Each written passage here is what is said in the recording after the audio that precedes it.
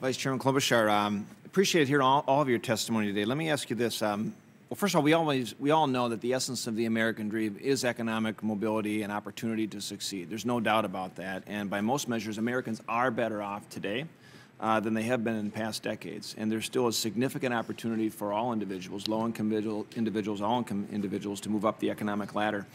Um, I want to focus some of my comments as well on education, because uh, a couple of you touched in particular on that as part of your testimony, uh, and particularly the skill upgrading concept you mentioned, Dr. Kearney.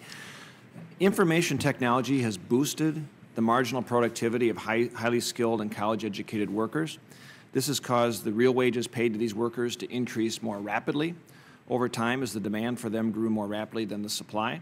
And at the same time, information technology directly competes with some generally less skilled and less educated workers, causing those real wages then to stagnate.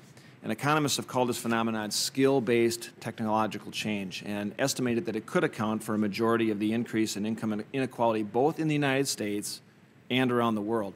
Um, Dr. Kearney, I'll just start with you. Would you agree that skill-based technological change is a major cause of income inequality, not only in the United States, but in other countries as well? Uh, yes, I am, I am firmly in the camp among labor economists who subscribe to this notion of skill-biased technological change. Um, but it's a nuanced view. Uh, it, the computerization and information technology has certainly accentuated and the uh, skills in a positive way, increased the returns to skills for the higher educated. But in the most recent decade, in the 90s, in contrast to the 80s, it actually did have some positive effects on the earnings of the lowest skilled. So, or, or I should say, you know, folks in the service sector, truck drivers have better GPS systems, for example. And where it's really hurt is right at the middle.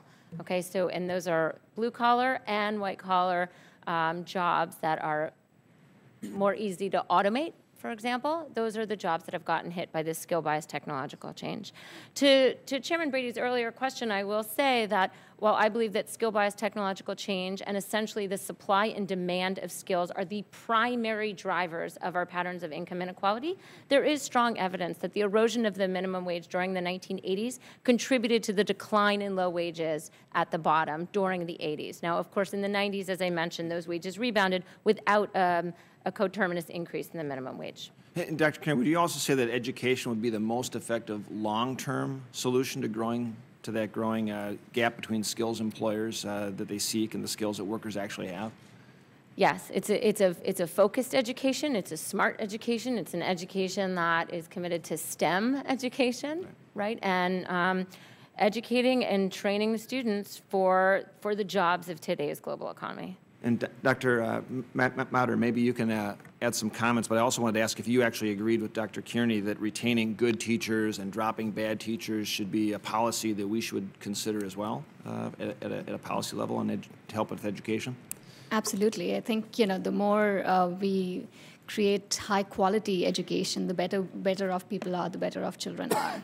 But again, also talking about the minimum wage, uh, you know, issue that came up. I mean, the most recent research suggests that there is, you know, there is. It's sort of not the single important thing that that has been responsible for income inequality. I think there is some evidence suggesting that uh, you know, over certain time periods, the minimum wage uh, was highly correlated with uh, female wages, which is what it affects the most. But I think if you look at a long period starting in, in 1986 to 2005, there is no correlation between female wages and the increase and decline in the minimum wage. So it's not clear that that is the sort of single smoking gun that has been responsible for the rise in income inequality. Yeah. Thank you, Madam Chair. I yield back.